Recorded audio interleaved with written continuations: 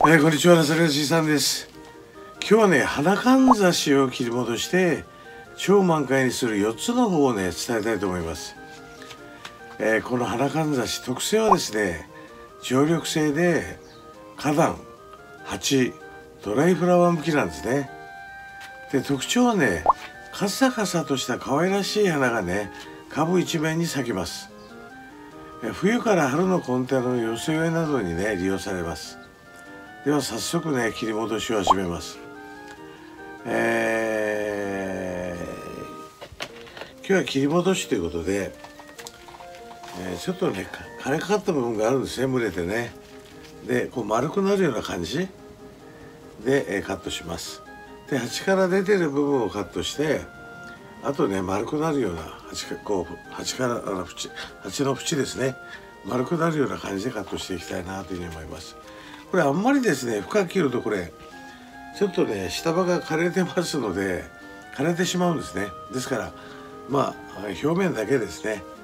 本当にあのうん先っぽだけをカットしていきたいなと。あるいは端から出てるとこは仕方がないのでもう外側の鉢に沿って切りますけどね、えー、早速切っていきたいと思います。回しながら切っていきます。しの外側をね外側に合わせて内側で切ると結構ねもう着てますから、えー、外側をねカットして枝先だけをねカットしていくっていう感じかな。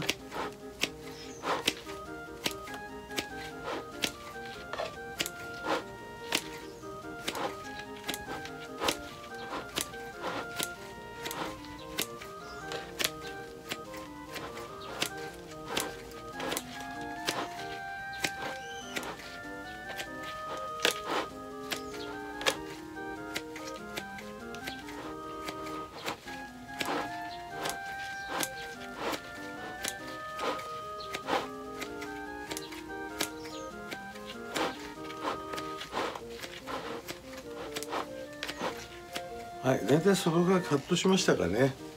あとでこう丸くなるような感じ。はいえー、ちょっと浅めにね。えー、深めじゃなくて浅めにカットしていきます。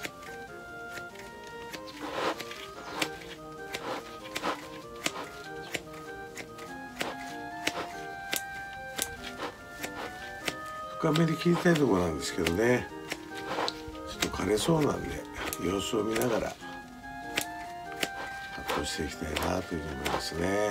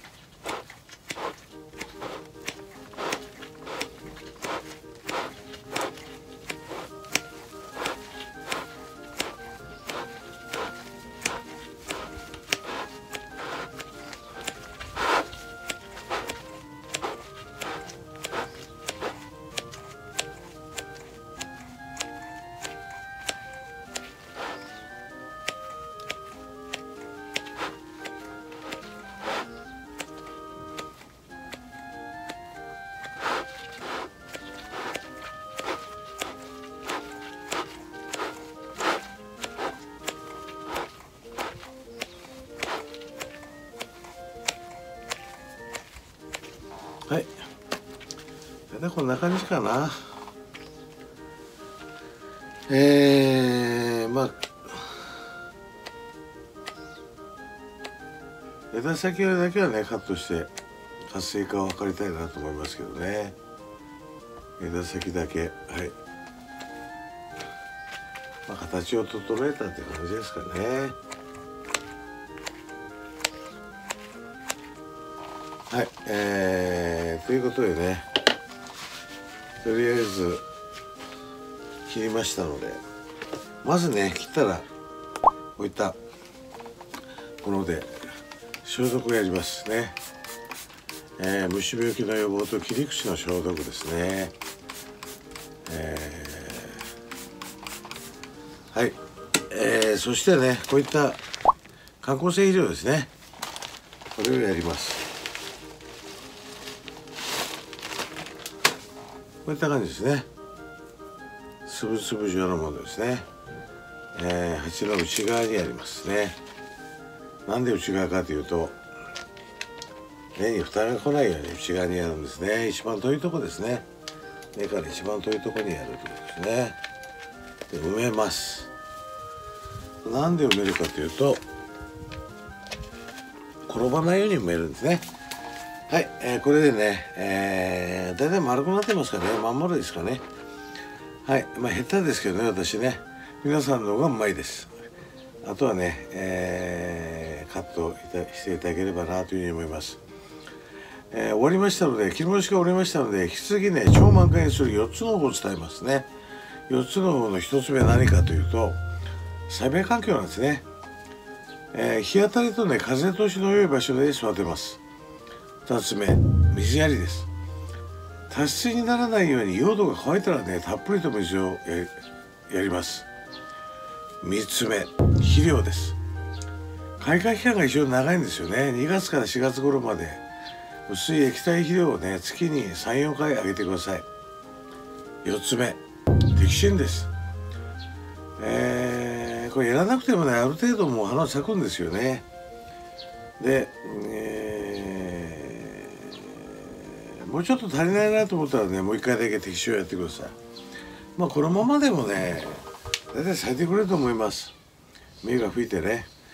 で、えー、ちょっと足らないなと思ったらもう一回摘心をする。っていう感じでいいかなというふうに思います。今日はね花かんざしを切り戻しました。花咲かじいさんと一緒にね超満開なのを探しましょう。最後になりましたがねいつもコメントくれてありがとうございます、えー、チャンネル登録しまた視聴して長坂じいさんを応援しましょう。方法はね画面中に私の似顔絵出てますからピッとねクリックするだけです。右側のベルのマークも押してください。今日も最後までご視聴いただきありがとうございました。それでは次の動画でまた張り切ってお会いしましょう。